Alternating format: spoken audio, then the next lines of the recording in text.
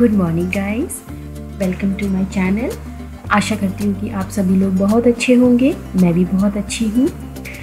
और आज है संडे मॉर्निंग और मैं आ गई हूँ किचन में। सुबह की शुरुआत हो रही है सबसे पहले दूध गर्म करने से। दूध मैं सुबह साढ़े पाँच बजे के अराउंड तक ही ले आती हूँ। रोज़ का यही रूटीन है मेरा। थोड़ा दूर से लाना पड़ता है twenty two twenty five minutes का रास्ता है तो मैं जाती हूँ रोज़ सुबह। एक मेरी छोटी सी मॉर्निंग वॉक भी हो जाती है। अच्छा लगता है सुबह मॉर्निंग वॉक करने से। एक काम भी हो जाता है वॉक भी हो जाती है। तो सबसे पहले मैं यहाँ पे दूध गर्म करने रख दूँगी। गर्मी काफ़ी है तो सबसे पहले मेरा यही काम होता है। अदरवाइज़ दूध ख़राब होने का डर रहता है। उधर साइड में चाय बन रही है। चाय मॉर्निंग वाली हमेशा हस्बैंड ही बनाते हैं। ये लेमन टी है, हम लोग सुबह लेमन टी ही पीते हैं। एक कप में उन्होंने हाफ़ लेमन डाला है। तो लेमन टी पीना अच्छा होता है हेल्थ के लिए काफ़ी। एक स्पून हनी का ऐड करेंगे वो इसमें।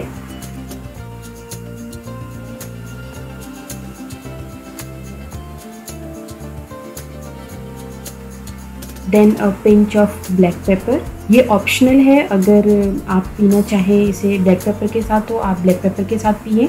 हमें इसमें बहुत अच्छी लगती है ब्लैक पेपर इसीलिए वही ऐड करते हैं। और उबला हुआ पानी इसमें ऐड करेंगे स्टर करेंगे। स्टर ज़्यादा ना करें अदरवाइज़ पानी ठंडा हो जाएगा। हमें ठंडा नहीं करना है, सिर्फ़ हनी को मिक्स करना है। ये है लिप्टन की हनी लेमन फ्लेवर वाली ग्रीन टी इस टी बैग को इसमें ऐड कर देंगे। दो मिनट तक इसी में छोड़ देंगे ताकि फ्लेवर अच्छे से आ जाए। और ये हमारी चाय रेडी है। चाय पीने के बाद सीधे मैं आ गई थी कपड़े वॉश करने के लिए। मैंने कपड़े अलग अलग कर दिए थे। पहले ही सेग्रीगेट कर दिए थे वाइट्स और कलर्स तो नाश्ता बनने से पहले मैं वॉशिंग में लगा दूँगी कपड़े। तो सबसे पहले मैं कलर्स को धुल लूँगी। ये है Ariel front load liquid detergent मैं कपड़े धोने के लिए यही यूज़ करती हूँ। मेरी फ्रंट लोड वाली वॉशिंग मशीन है फुल्ली ऑटोमेटिक और ये कंफर्ट और वाइट्स के लिए मैं वैनिश और एरियल का मिक्स यूज़ करूँगी। तो सबसे पहले मैं कलर्स को डाल दूँगी। इसमें हंड्रेड एम एल मैं एरियल लिक्विड डिटर्जेंट प्लस एक स्कूप में कंफर्ट फैब्रिक कंडीशनर यूज़ करूँगी। कंफर्ट डालने से कपड़े काफ़ी स्मूथ हो जाते हैं बहुत अच्छी सी खुशबू आती है। तो ये फ़र्स्ट लोड मैं लगा दूँगी। जब तक मैं अपना नाश्ता प्रिपेयर करूँगी, मेरे कपड़े भी धुलकर तैयार हो जाएँगे। और यहाँ पे मैंने 30 मिनट्स की हाई स्पीड पर इसको वॉश करने के लिए लगा दिया है।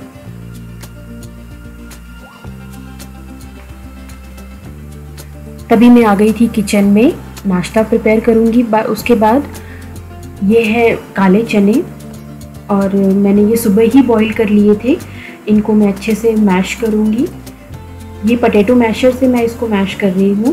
तो अगर आपके पटेट आपके चने बहुत अच्छे से सॉफ्ट हो रखे हैं बॉईल होने के बाद तो ये अच्छे से मैश हो जाएँगे। और यहाँ पे देखिए मैंने अच्छे से इनको मैश कर दिया है। हाथों से भी मिक्स कर लें अलग अलग फ्लफ़ कर दें उसको। और फिर हम इसमें बाकी चीज़ें ऐड करेंगे।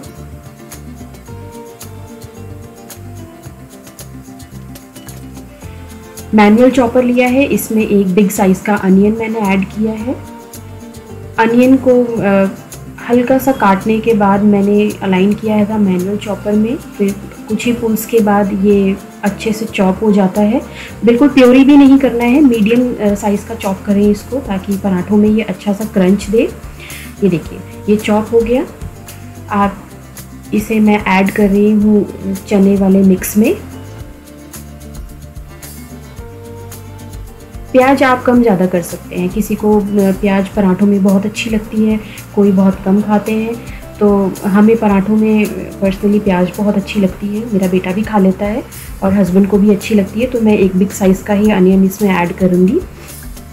उसके बाद मैंने ये ग्रीन चिली भी ऐड की थी।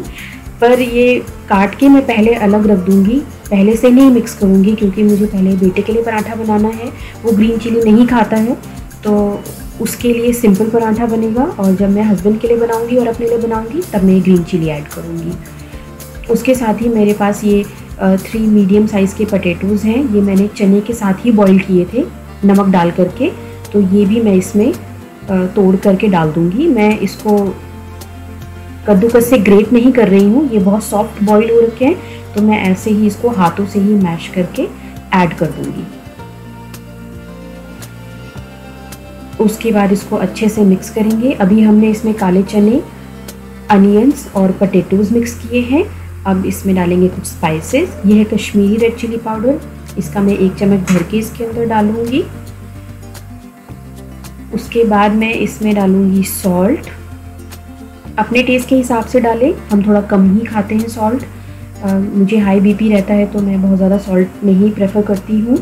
थोड़ा सा कसूरी मेथी डाल दें इसके अंदर। मेरे पास उस दिन हरा धनिया अवेलेबल नहीं था, ख़त्म हो रखा था।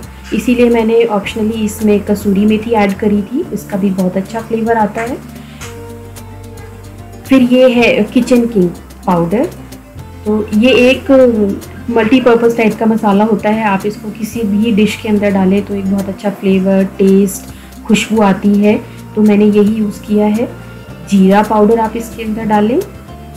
जीरा पाउडर के साथ आप इसके अंदर और कुछ भी मसाले ऐड कर सकते हैं अपने टेस्ट टेस्ट के हिसाब से, जैसे कि स्टफ़ पराठा मसाला हो आपके पास, वो डाल दें या जलजीरा मसाला हो, वो डाल दें। थोड़ा सा इसमें मैं गरम मसाला डालूँगी। चाट मसाला भी आप डाल सकते हैं इसके अंदर, अगर आपको अच्छा लगता है। हम ज़्यादा नहीं खाते हैं नमक वाली चीज़ें तो मैंने सिर्फ़ सॉल्ट ही ऐड किया है यहाँ पे, नमक के नाम पर। तो अब अच्छे से इसको मिक्स कर दूँगी मैं। मिक्स थोड़ा सा अच्छे से करें।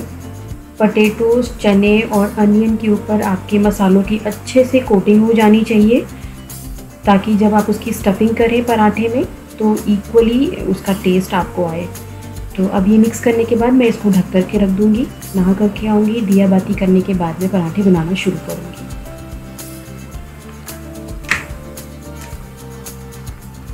तो नहा कर आ गई थी, मैंने शावर ले लिया था, फिर दिया बाती करने के बाद मैं आ गई थी फिर से किचन में पराठे बनाना शुरू करेंगे। तो उससे पहले मैंने डो भी तैयार कर लिया था नहाने जाने से पहले। तो थोड़ा थोड़ा डो लेकर के उसकी पेड़ियाँ बनाऊँगी और छोटी छोटी पूरियाँ बनाने के बाद उसमें स्टफिंग फिल करूँगी मैं। और ये जो स्टफिंग है, इसको आप अच्छे से ही फिल करें। बिल्कुल भी कम ज़्यादा ना करें।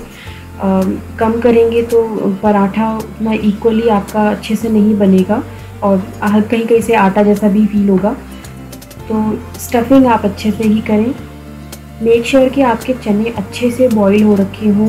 सारे चने आपने मैश किए हों। एक एक चना मैश हो गया हो अदरवाइज़ पराठे फट भी सकते हैं। इसीलिए स्टफिंग आप अच्छे से भरें इसके अंदर। बस अब धीरे धीरे मैं अपने पराठे बना लूँगी। और इस पॉइंट पर स्टफिंग भरने के बाद आप इसको ज़्यादा प्रेशर के साथ ना बेलें हल्के हल्के हाथों से ही बेलें ताकि ये फटे ना। और ये देखिए, बिल्कुल अच्छे से पराठा मैंने बेल करके तवे पे डाल दिया है। अब इसको मैं दोनों तरफ़ से हल्का ब्राउन होने तक सेक दूँगी। तब तक मैं अपने बाकी के पराठे भी तैयार कर लूँगी स्टफिंग डाल के। और ये सबसे पहला पराठा मेरे बेटे के लिए बन रहा है इसमें मैंने ग्रीन चिली ऐड नहीं की है अभी। अब हस्बैंड के लिए बनाऊँगी तो उसमें मैं ग्रीन चिली ऐड करूँगी।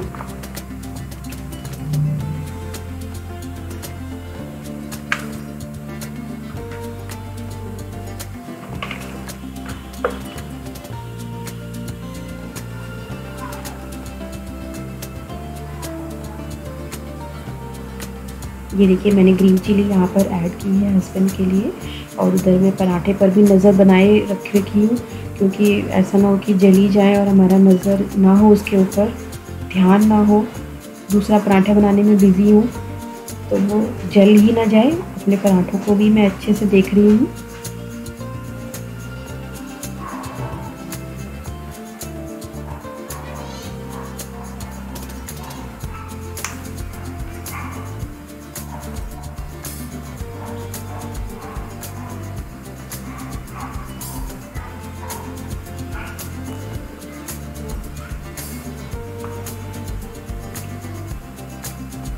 अब दोनों तरफ़ से आप इसको चेक कर लें। दोनों तरफ़ से हल्का सिक जाने के बाद थोड़ी सी ब्राउन इसमें स्पॉट्स आ जाएँगे। उसके बाद मैं इसको इधर से भी पलट लूँगी और फिर मैं इसके ऊपर लगाऊँगी देसी घी। ये होममेड देसी घी है। पराठे घी में ही बनाती हूँ मैं।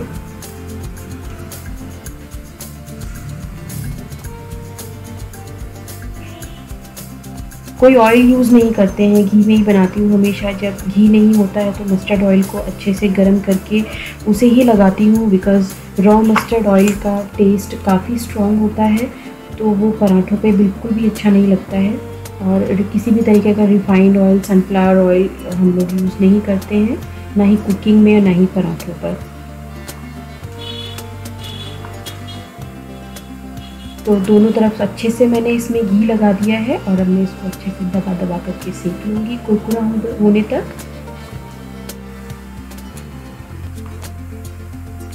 चने के पराठे आप किसी भी चीज़ के साथ खाएँ, ये बहुत टेस्टी लगते हैं और ये एकदम टमी फिलिंग होते हैं। पराठे चने के अपने आप में बहुत हैवी होते हैं हेल्दी भी होते हैं।